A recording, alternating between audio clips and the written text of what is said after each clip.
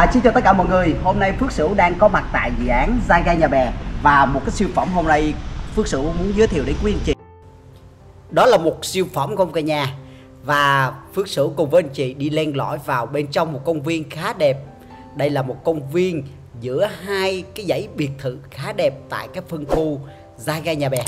Đây là một cái phân khu VIP dành cho những khách hàng VIP những cái căn biệt thự này đa số những căn biệt thự view sát bờ sông luôn à, nhìn trực diện ra bờ sông ha cả nhà rồi một cái siêu phẩm mà Phước Sửu muốn giới thiệu đến quý anh chị là một căn biệt thự đơn lập 12,5 nhân 20 và có một cái điều đặc biệt của cái căn đơn lập này là có sân vườn phía sau. Và cái phần sân vườn này quý anh chị có thể là trồng được những cái cây xanh hay là làm hồ bơi được cho à, trong khu viên nhà của mình. Và bây giờ mọi người nhìn thấy là trước nhà là một con đường 12 mét nè có vỉa hè nè cây xanh. Rất là nhiều loại cây xanh và ở đây có những cây hoa ngọc lan nở ra những cái hoa rất là thơm làm cho cái khu vực này trở nên xanh tươi mát mẻ và có những cái mùi hương thơm cực kỳ mới lạ. À, và như mọi người nhìn thấy tất cả ở đây là những căn đơn lập hết toàn bộ. Những căn nhà được bao phủ những loại cây xanh và xung quanh đều có một cái khoảng không sân vườn cực kỳ hấp dẫn rồi bây giờ cùng với Phước Sửu mình vào bên trong để mình khám phá căn nhà này cả nhà nhé. À, được xây dựng mỗi bên chừa 2 mét thì căn biệt thự song lập này thiết kế là một trệt hai lầu. Và phía trước của mọi người đó là một cái gara xe hơi. Và bây giờ là mình đi vào cửa chính của căn nhà. Với căn nhà này mình có thể đậu được 2 đến 3 chiếc xe hơi nha cả nhà. Rồi phía trước là chủ đầu tư à, bàn giao cửa gỗ với lại là cửa khóa vân tay thẻ từ Hubler và mình bước vào bên trong như Phước Sửu ờ, đang quay video thì đây là một cái gara xe hơi. À, bên tay phải là có thể thiết kế được phòng khách. Và phía sau bếp là mình có thể thiết kế được một phòng ừ, ngủ ở dưới đất. Và một cái à, phòng bếp à, chỉ L và một bếp đảo khá đẹp luôn cả nhà. Và cả nhà nhìn thấy không? Ở đây tất cả cái hệ cửa đều là cứng kiền lực và rất là thoáng rồi bây giờ mình ra mặt sau ha. Mặt sau thì à, một cái ban công một cái khuôn viên sân vườn khá rộng luôn. Và bắt đầu mình nhìn kỹ ra mặt sau nó có đến gần 90 mét vuông à, sân vườn.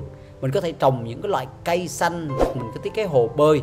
Và phía sau là cũng là một con đường khá lớn được cả nhà con đường đến 16 mét luôn. Và từ cái vị trí này thì mình có thể di chuyển ra đường chính đó luôn gần như là ba bên đều là cây xanh sân vườn. Và một cái điều đặc biệt từ cái vị trí view này nè là nhìn ra bờ sông luôn. Đây rồi đây là mặt sau của căn nhà hai căn nhà. Nói là mặt sau nhưng mà đây là một cái mặt tiền à, mặt sau à, ừ, ừ, của một cái con đường là 16 mét.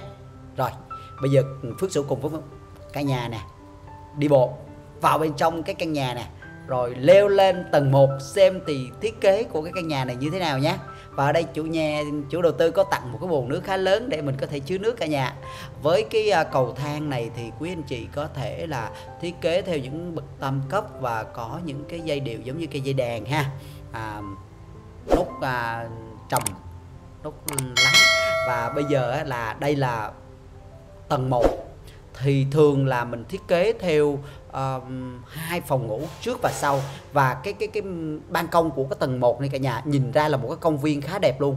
Không căn nhà này không có đối diện nhà và đối diện là một cái công viên luôn. Mặt sau thì uh, có một khoảng sân vườn và nhìn ra con đường nữa.